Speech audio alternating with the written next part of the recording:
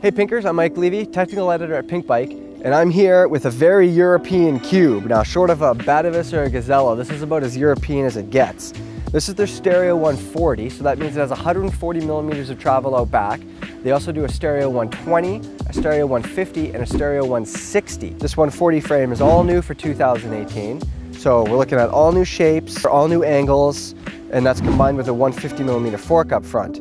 Uh, now when I took this thing out of the box, at first I thought, hey, look at this, it looks pretty boring, it's gray, uh, traditional, it's got a rocker link, but then I got a little closer and there's some interesting things going on here.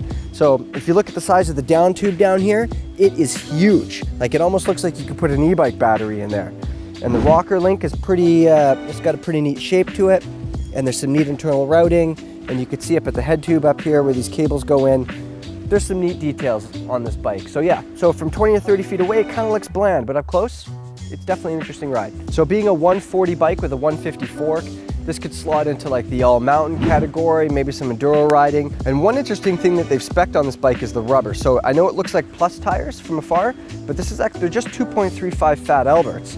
But it's not a tire that we see a lot in North America, uh, but in Europe it's definitely more common. So as I mentioned before, this is a brand new frame for 2018. So what they've done, like a lot of brands, there's more length up front. It's a 458 millimeter reach with it on this large, which isn't overly long by any, any stretch of the imaginations these days, but it's longer than they used to be.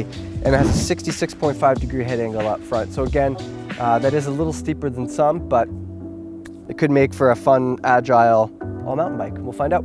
So if you want to see more new bikes and more videos, click here to subscribe and click down there for more videos enough.